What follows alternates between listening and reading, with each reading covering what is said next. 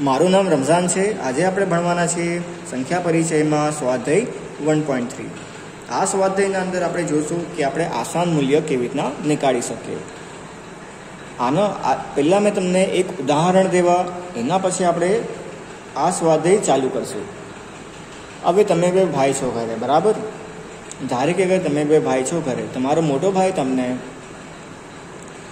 તમારો મોટો ભાઈ તમને ઓગણીસ રૂપિયા આપે છે. અને પાંચ દિવસ પછી તમને પૂછે છે કે તમને કેટલા રૂપિયા આપ્યા તો હવે તમે એને ભૂલી દો કે તમે મને પહેલા દિવસે મારા અંદાજે તમે મને વીસ રૂપિયા જેટલા આપ્યા હતા. અહીંયા તમે શું કર્યું? કે અહીંયા તમે અહીંયા તમે ઓગણીસના આગળ તમે એક રૂપિયો મલાઈને તમે અહીંયા એને એક આસાન મૂલ્ય બતાવી દીધી કે તમે મને વીસ રૂપિયા અંદાજે આપ્યા હતા. તો આપણે આ ચેપ્ટરના અંદર એ જ જોવાના છે કે આપણે આસાન વેલ્યુ આપણે અંદાજે કેવી રીતના આપણે મૂલ્યને બોલી શકીએ. બરાબર? બહુ આસાન છે, બહુ સહેલું છે. આપણાને બસ ખાલી એટલું જ શીખવાનું છે કે આપણે અંદાજે વેલ્યુ અંદાજે આપણે મૂલ્ય યા પછી આપણે આસાન મૂલ્ય કેવી રીતના આપણે એને બોલી શકીએ. અગર અગર મેં તમને દસ દિવસ પહેલાં અગર મેં તમને મેં તમને પૈસા આપ્યા હતા એકાવન, બરાબર? મેં તમને એકાવન રૂપિયા તમને આપ્યા હતા. ને મેં તમને દસ દિવસ પછી પૂછ્યું કે તમે મને મેં તમને કેટલા રૂપિયા આપ્યા હતા પહેલા દિવસે, તો તમે મને અહીંયા શું બોલી શકો?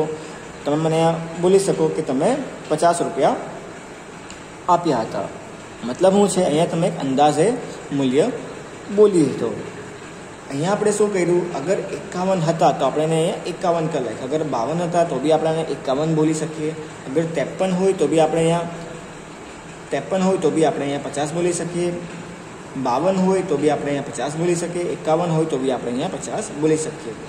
ચોપન હોય તો બી આપણે અહીંયા પચાસ બોલી શકીએ. જો આ નિયમ છે, નિયમ બસ ખાલી એટલો જ છે.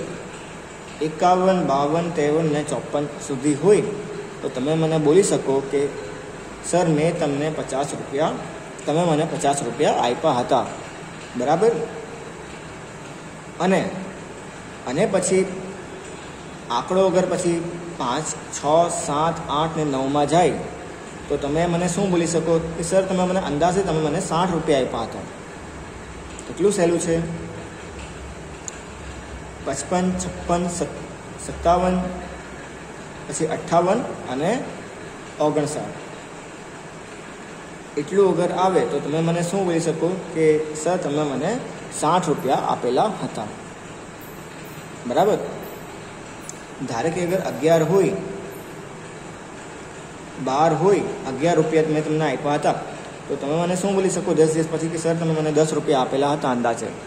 તો મેં સમજી જઈશ, મેં તમને કંઈ દસ રૂપિયા જેટલા આપેલા હતા. દસ રૂપિયાના આજુબાજુ મેં તમને આપેલા હતા. બાર રૂપિયા હોય તો બી મને બોલી શકો તમે દસ રૂપિયા છે. તેર રૂપિયા મેં તમને આપ્યા હોય તો તો બી તમે મને બોલી શકો કે તમે અંદાજે મને દસ રૂપિયા આપ્યા હતા. અને ચૌદ રૂપિયા આપું તો તો બી તમે મને બોલી શકો કે અંદાજે દસ રૂપિયા આપેલા હતા. તો આપણે જવાબ શું હશે દસ રૂપિયા.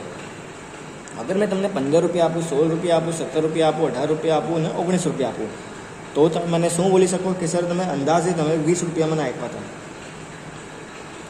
આવી રીતના એટલો સહેલું આપણને જવાબ નીકાળવાનો છે. આપણને આ બધી વસ્તુ, આ બધી વસ્તુ આપણને આપણી રિયલ લાઈફમાં કામ લાગે છે. આપણી જે અસલ જિંદગી છે, એમાં આપણને આ બધી વસ્તુ કામ લાગે છે. બરાબર? અગર તમારી મમ્મી તમને એકસો બે રૂપિયા દે, તો તમને અગર તમને અગર તમારી મમ્મી પૂછે કે તમે તમે કેટલા રૂપિયા તમે, મેં તમને આપ્યા હતા, તો તમે શું બોલી શકો? થોડા દિવસ પછી અગર મમ્મી તમને પૂછી લે, તો તમે શું બોલી શકો કે મમ્મી તમે મને અંદાજે સો રૂપિયા આપેલા હતા? આપણને યાદ નથી રહેતું લાંબા સમય પછી, તો આપણને ત્યારે આસાન મૂલ્ય બોલવામાં સહેલું પડે છે. બરાબર? જો, આ મેં તમને બતાવ્યું, દશકનું બતાવ્યું. બરાબર? આ મેં તમને દશકનું બતાવ્યું. પંદર સોળ સત્તર અઢાર ઓગણીસ, એટલે કેટલા? વીસ રૂપિયા. તમે આને વીસ રૂપિયા બનાવી દીધા. આ બે આવી ગયું, દશકના અંદર આવી ગયું. બરાબર? આ મેં તમને બતાવ્યું, અંદાજે દશક બતાવ્યું. આમ હોય સો આમ હોય સોનું બી હોય અંદાજે.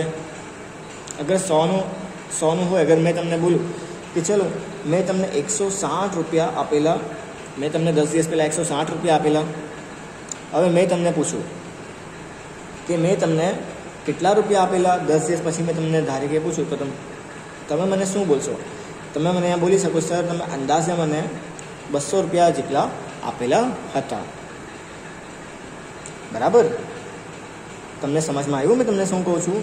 આ સો રૂપિયાનો આપણે અંદાજો લગાવ્યો છે. બરાબર? પહેલાં તો આપણે દસનો અંદાજો જોયો હતો. હવે મેં તમને બોલું છું અંદાજે સો રૂપિયા. અગર મેં તમને બસો સિત્તેર રૂપિયા આપું, ચાલો, બસો સિત્તેર રૂપિયા મેં તમને આપી દીધા. હવે તમે મને શું બોલશો? દસ દિવસ પછી મેં તમને પૂછ્યું, તો તમે મને શું બોલી શકો? સર, તમે અંદાજે મને ત્રણસો રૂપિયા જેટલા આપેલા હતા. ત્રીસ રૂપિયાનો ફરક છે, મોટો ફરક નથી, પણ એક અંદાજો થઈ ગયો. દસ દિવસ પછી આપણને, લાંબા સમય પછી આપણને મૂલ્ય યાદ નથી રહેતી, જે મૂલ્ય હોય છે તો આપણે અહીંયા અંદાજે બોલી શકીએ. અગર તમને મૂલ્ય યાદ છે તો સારી વાત છે. કોઈ ખોટી વાત નથી. અગર તમને મૂલ્ય યાદ નથી, તો તમે અંદાજે બોલી શકો છો.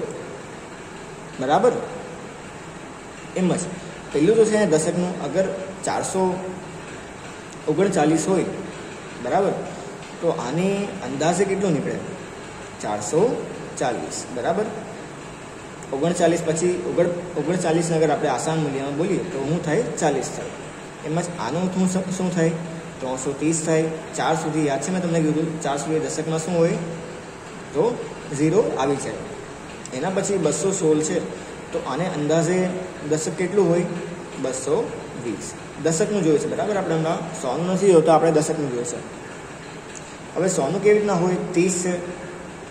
સાતસો ત્રીસ છે. હવે આપણે સોનું જોશું. સાતસો ત્રીસ છે, તો અહીંયા શું આવશે? સાતસો. નવસો નાઇન નાઇન એટ ફિગર છે અહીંયા આપણું. તો અહીંયા અંદાજે આપણે ફિગર શું આવશે? હજાર. સોનું ત્રણસો ચૌદ છે, તો અહીંયા ત્રણસો હવે બે અંદાજે વેલ્યુ અહીંયા આપણને બે અંદાજે નીકાળવાનું છે. જોઈએ પહેલું શું છે અહીંયા? એ છે. સાતસો ત્રીસ ને પ્લસ નાઇન નાઇન એટ હા. સામાન્ય નિયમ નિયમ વાપરી નીચેના અંદાજે મેળવો. અહીંયા આપણને શું કરવાનું છે? અંદાજે નિયમ આપણને જોઈએ છે. સાતસોથી છે, અહીંયા સોનો અંદાજો શું હોય? સાતસો. નવસો નવ નાઇન નાઇન એટનો અહીંયા નાઇન નાઇન એટનો અહીંયા seven thirty seven three zero plus nine nine eight બરાબર? તો નાઇન નાઇન એટનો અહીંયા અંદાજે શું હોય? હજાર તો આનું એક હજાર સાતસો.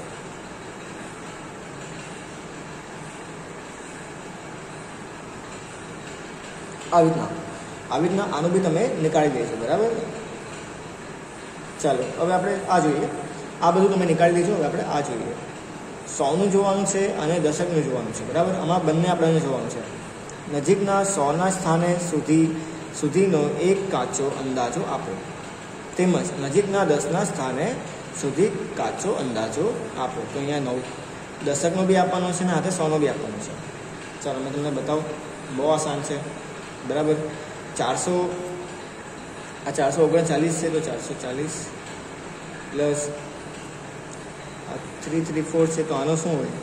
ત્રણસો ત્રીસ. બરાબર? આનો પછી હોય? ચાર હજાર ત્રણસો, ચાર હજાર ત્રણસો વીસ. આવી રીતના આ બધાને તમે ભેગા કરી લાગજો, ગુણાકાર કરી લાગજો. સોરી હા, ગુણાકાર ગુણાકાર નહીં. સરવાળો કરી નાખજો આનો. જે જવાબ આવે તમે લખી દેજો. બરાબર? પ્લસ કરવાનું બહુ સહેલું છે તો તમને આવડે જ છે. હવે સોનું કર્યું સોનું એ શું આવે? ચારસો ઓગણચાલીસ છે ફોર થ્રી નાઇન છે, તો અહીંયા શું આવે? ચારસો આવે. બરાબર? થ્રી છે. હે ને? થ્રી છે. એના પછી થ્રી થ્રી ફોર છે, તો એનું શું આવે? થ્રી ડબલ ઝીરો આવે.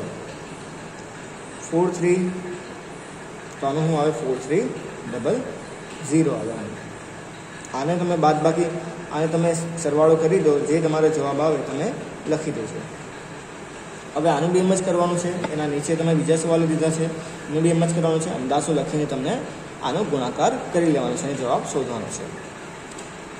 તો આજ માટે આટલું જ. સ્વાધ્યાય નંબર વન પોઈન્ટ થ્રી તમને ઘરેથી કરી લાવવાનું છે. બહુ ઇઝી છે. તમને એટલું યાદ રાખવાનું છે કે મેં તમને ઓગણીસ રૂપિયા આપું, તો તમે દશકનું સ્થાન શું આવે તો વીસ આવે. અગર મેં તમને બસો સિત્તેર આપું, બસો સિત્તેર આપું અને મેં તમને પૂછું કે એનો અંદાજે શું છે, સોને, સોના હિસ્સાને તો એનું બસો સિત્તેરનું શું આવે? ચારસો હોઈ જાય. સોરી ત્રણસો હોઈ જાય, બરાબર? આવી રીતનું. કાલે મળીએ આપણે.